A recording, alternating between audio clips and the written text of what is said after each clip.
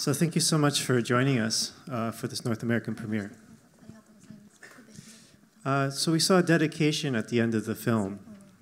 uh, and I understand that uh, the story was inspired by a personal experience of yours. Could you tell us a little bit about the origins of this film? そうですねあの基本的には小学校の頃の実体験がすごくベースになっていてあのその時の体験を映画として残しておきたいなと思ってこの映画を作りました。Uh, yes, it's true. Um, it is uh, sort of inspired by my own experience as an elementary school child, and I wanted to make a film based on that. And can I ask how specific uh, that experience was? I mean, does this also include having gone to a Christian school? もちろんあのイエス様が僕自身見えてたってわけではないんですけどでもあの実際にキリスト教の学校にも通ってました Uh, so, of course, I did not see Jesus appear in front of me, um, but I did go to a Christian school. あとはうーんやっぱり決していい思い出ではないですけどあの友達ある友達とすごく仲良くなってそれでまあ、えー、ゆらくんと同じぐらいの小学校5年生ぐらいの時に彼が交通事故で亡くなってしまったっていうのも事実です。Uh, and so this isn't a great memory for me, but uh, I became very good friends um, with somebody around the time I was fifth grade, just like Yura, um, and I lost a friend through a traffic for a traffic accident. Um, so I'd like to know a little bit about your decision making uh, in, when you uh, decided to put Jesus in the film. Here he's played by an Australian comedian uh, named Chad Mullaney. Uh, how did you direct him to act? How did you want Jesus to come across to us and to Yura? そうですね。あのまずイエス様を出さないでこの映画を一回作ってました。つまりプロットまではプロットの段階では、えーイエス様ちっちゃいイエス様はいなかったです。Uh, so, in terms of uh, up until the point where I was uh, plotting this film, I actually didn't have a little Jesus appear. でもあのちょっとそれを読んだり人に読んでもらったりした時にちょっと重たすぎるなと思ってこれは一体誰が楽しめる映画なんだろうって思ってしまってそれどうやったら楽しんでもらえるかなって思った結果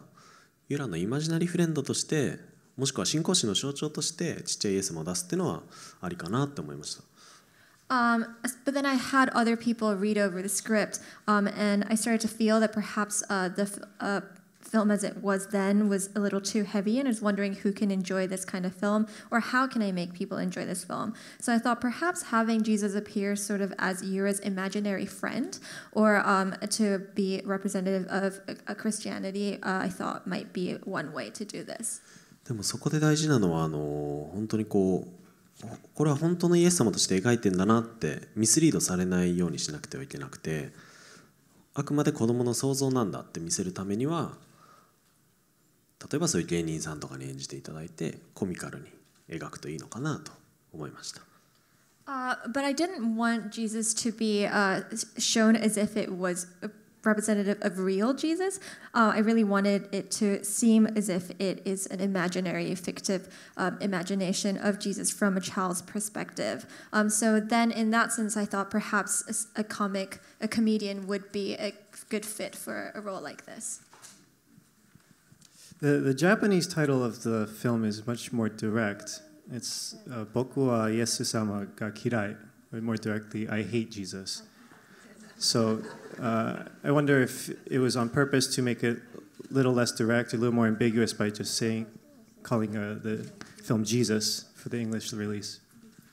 これがやっぱりあの僕はイエス様が嫌いと「I hate Jesus」ってまあもちろんそういう意味になるんですけどちょっとニュアンスが違くて まず「僕」ってこれ訳すの難しいと思うんですけど「僕」ってやっぱ愛とちょっと違うじゃないですか。なんかこうあのあくまで子供としての一人称ででかつイエス様も単なるジーザスじゃなくてイエス様って「様」っていうそのなんですかね尊敬の念がこもっててあくまで自分が子供としてそのイエス様を尊敬はしてるけどこうでかつ信じてないわけじゃないですけどこう好きになれなくなっちゃった時期。っていうのえものを描きたかったのでうん、なんかそれを「ヘイト・ジーザス」って最初しようとしてたんですけどうんまあいろんな人のアドバイス受けて特になんかロックっぽくなっちゃうよって言われてなんかそれもあって変えました。Um, so it's not quite exact to even um, to say that the Japanese title "Boku wa Yes-sama ga kirai" is means I hate Jesus. Um, it's a little bit different. It's a little more nuanced in Japanese uh, because "boku" is one way of saying "I," but it sort of shows more of a childlike perspective. Um, and and then yet in the Japanese title, it's also yes sama, which Jesus sama, and sama is a way to show respect. And so it's a child who does. It's not that the child doesn't respect Jesus, nor is it that he doesn't quite. Uh, it's not that he doesn't believe in him necessarily either. It's just that he just can't seem to like him. And so at first, I did think about using the term "I hate" in the title, um, but after receiving some advice from other people and talking to other people, I actually had someone say that perhaps saying I hate Jesus seems a little too rock and roll. Yeah, I think it was a good decision. And certainly the, the childlike perspective is one of the things I really love about this movie.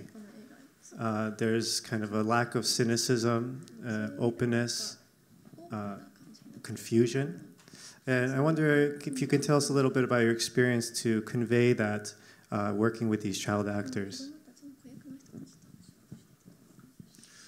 あのとにかく子供らしさっていうのをしっかり出したかったので 彼らには一切台本を渡さずに、えーお芝居をしてもらいました Um, I really wanted to show uh, and achieve a childlikeness uh, to be, appear in the film. Um, and so I actually didn't give them a script um, in order to act. で、えっと、これはあの大学時代に僕はあのショップリフターズとか作った是枝さんのあのに映画を習っていてあのその是枝監督からの影響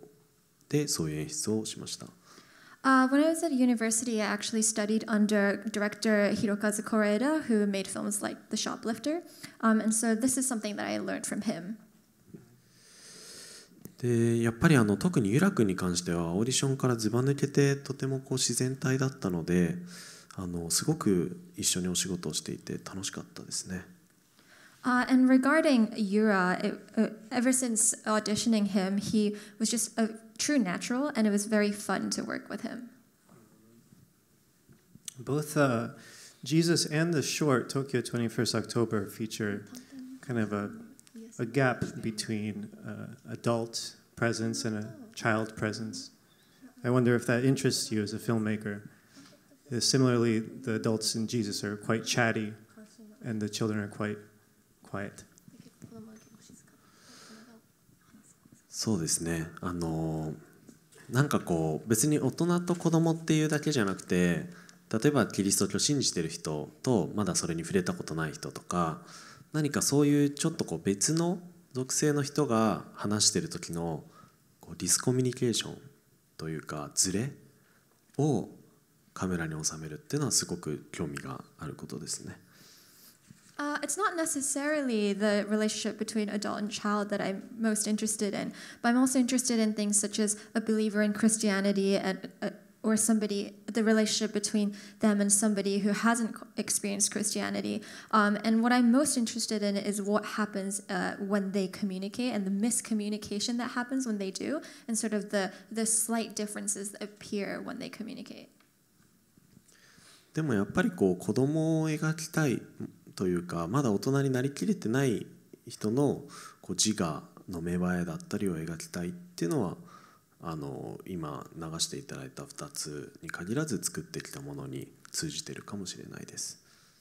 Um, and so it's not quite that I wanted to show just a child's perspective or, or depict a child, but the child is also somebody who's not quite an adult yet. Um, and the, both of the films that I showed here and the films that I've been making are sort of uh, these not quite adult people sort of starting to realize themselves. Uh, in addition to writing and directing the film, you were also the cinematographer and the editor. And I really love the, the look of this film. And I, I was wondering if you could speak to uh, the, some of the decisions you made uh, as far as the visual style.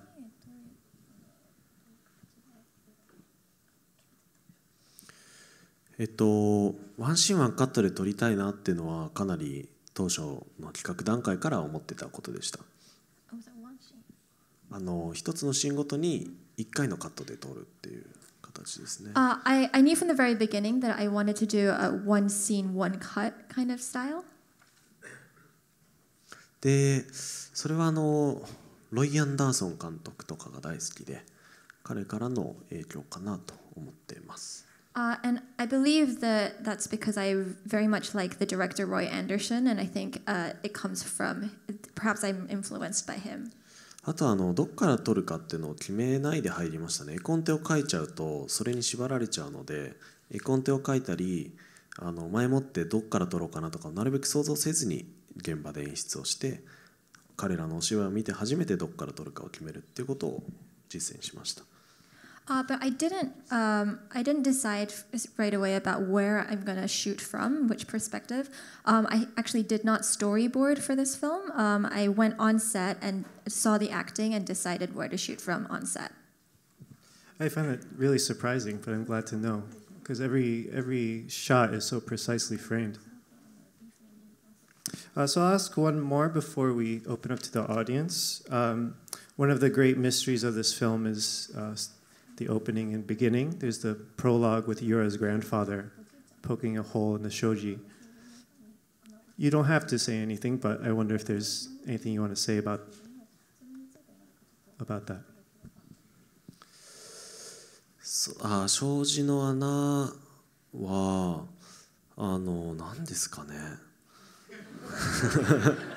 僕も分かっなんかちょっと話それちゃいますけどこの前シドニー映画祭っていうのに参加させていただいたんですね。1ヶ月前ぐらい。それであのこう誰か質問ありますか？って司会の人が言ったらちっちゃい男の子「イエスイエス」って手挙げててでなんか司会の人が仕方なさそうにこう当てたらあのあのちっちゃい襖のユラが開けた襖の穴の中をいちっちゃいイエス様通り抜けられますか？って質問しててすごい可愛いなと思いました。Um, so regarding the whole, um, I wonder as well. I'm not quite sure. Um, I'm going to stray a little bit, but uh, I had the opportunity to go to the Sydney Film Festival, um, and during the audience Q and A, there was um, the moderator asked the audience who has a question, and a child said, "Yes, yes, I have a question," and the moderator sort of begrudgingly pointed towards the child, and the child said, "Child, the child asked." Um, so regarding the hole that Yura pokes into the shoji, um, d- is that hole big enough for the little Jesus to go through? And I thought that was really cute. なんか子供からの質問じゃなかったらちょっと怖いんですけどすごく大人からのなんですかね子供らしい意見でなんかそこに一つの答えがある気が勝手にしてました Um, if that question was coming from a child, I think I would have been a little bit scared. However, because it came from a child's perspective, um, I felt that perhaps there's an answer to that there. Okay, uh, so now we'll open it up to uh, audience, and we'll prioritize any children in the audience. I see in the way back in the middle.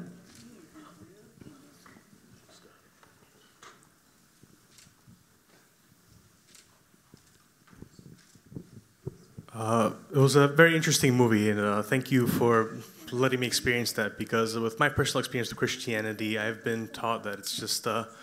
with God, anything is possible, right? And it was very interesting to see how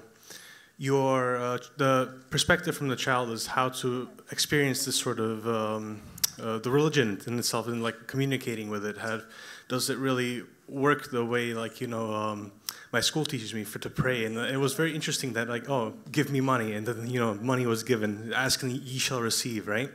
So I was just wondering why would you put it into that sort of perspective in terms to see that if it isn't so much about like whether it is a belief system or not, but whether or not if um, what's the right words for but whether or not how the uh, it's just uh, I, I thought it was very interesting that everything didn't work out in the end. Basically, like you know, uh, there was the the prayer, and he said he was experiencing oh it was worthless, it was meaningless. Like uh, I just wonder, like, what's your take on that, or like what do you are you trying to portray in that sort of um, juxtaposition?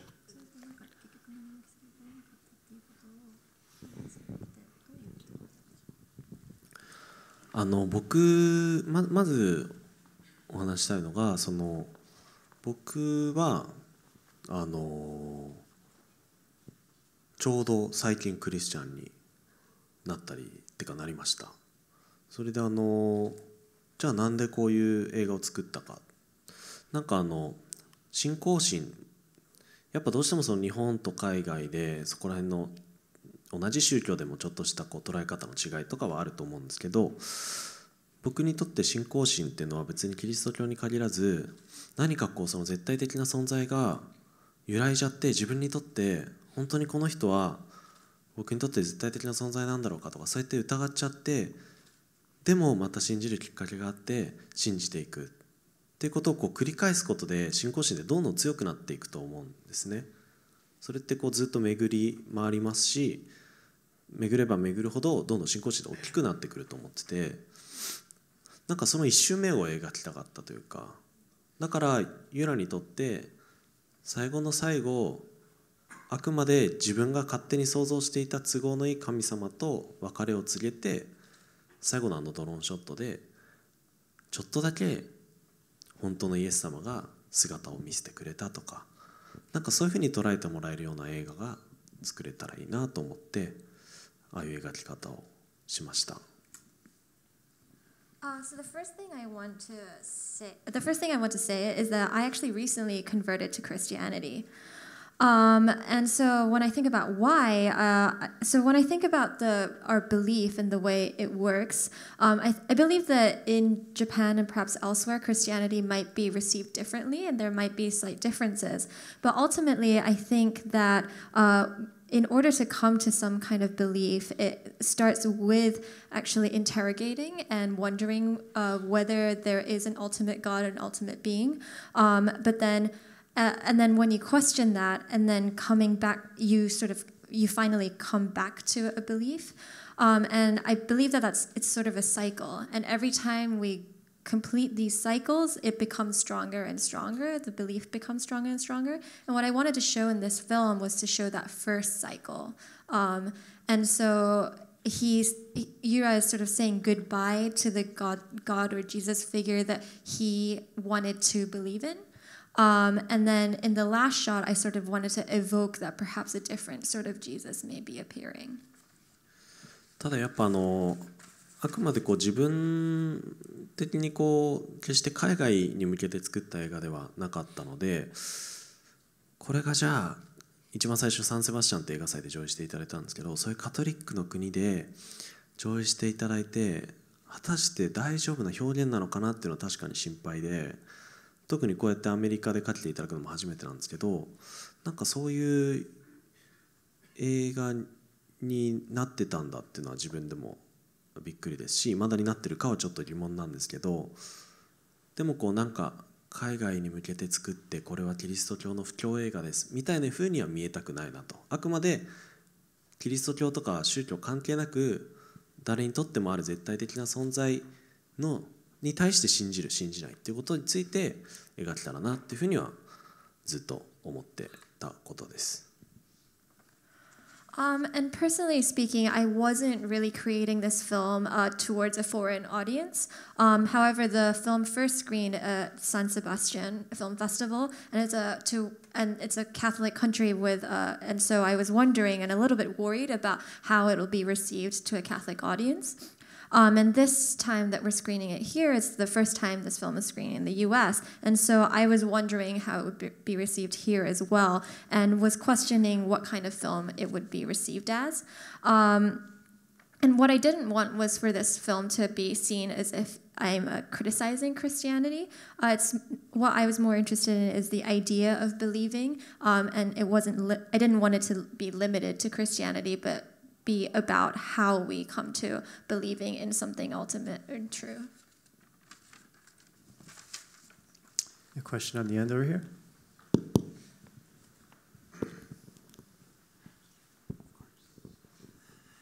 Um, my friends who are filmmakers always say never work with children or animals. And you uh, made your first feature with children, animals, and an imaginary Jesus. Uh, and I was just wondering uh, what kind of challenges that presented and whether you regret that decision. それ海外でも言われてるんですね実は日本でもすごく言われるんですね子供と動物は使うなっていうのであのなんか僕実際に映画の学校も通っててこれが最初で最後のつもりで映画を作ったんですけど作り始めた時は。なんかだったらもうちょっと天の弱というか曲がってますけどだったらもう子供と動物だけ使ってやろうぐらいの気持ちで作り始めたものではありましたね。さらに企画進めていく段階でまあ偽物のイエスさんも加わってしまったっていう感じで。でもなんかそこのいろんな障害というかハードルが高いからこそすごい作ってて楽しかったですね Um, so people say that in a lot of festivals to me, and actually in Japan as well, people do say don't work with children and animals. Um, but I was going to film school at the time, and when I was making this film, I, I was thinking to myself, this is going to be my first and last film. Um, and so what I it's sort of the contrarian in me, but I wanted to. So I said to myself, you know what? I'm going to make a film just with children and animals. Um, and uh, but then as I was making the film, I realized that I, am sort of coming back to the, the same themes in a way. Um, and uh, and but the thing is, by raising the hurdle high for myself, I actually had a lot of fun. Time for one or two more. See a question up here.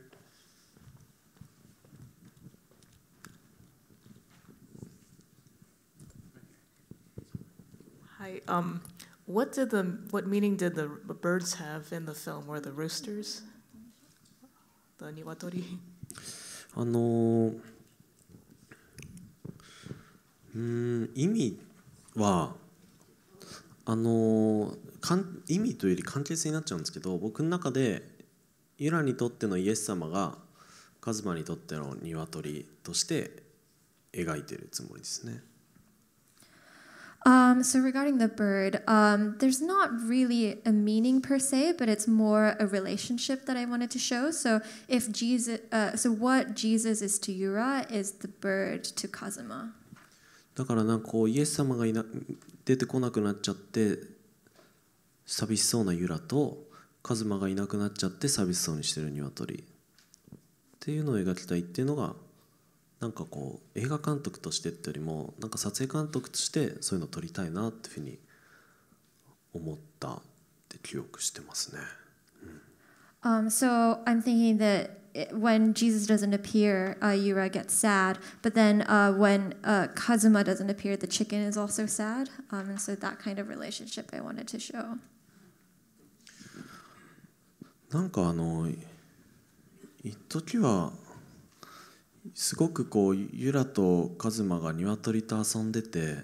でその後すぐクリスマスのパーティーにシーンが変わって最初にチキンが映るってちょっとジョークっぽいことやろうとも思ってたんですけどやめました。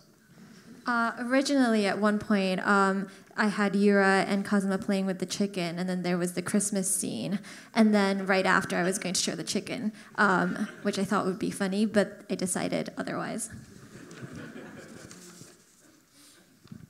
You have a question over here?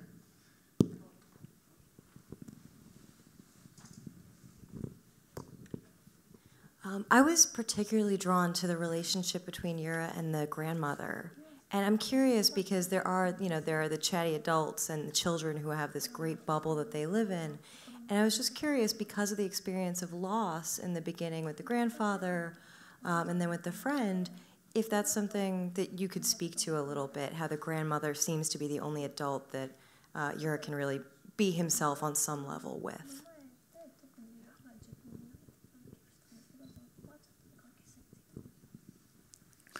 そうですね。なんかおばあちゃんとの関係性ってこういう時なかなか聞かれることがないのですごい新鮮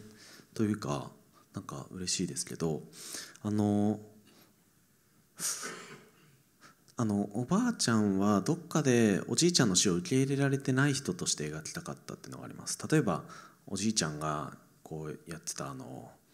なんていうんですかね、えー障子の穴を全然張り替えられなかったりとか。でもそれが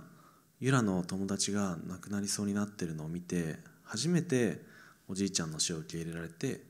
障子を張り替えるそういうシーンを描きたかったっていうのがありますね。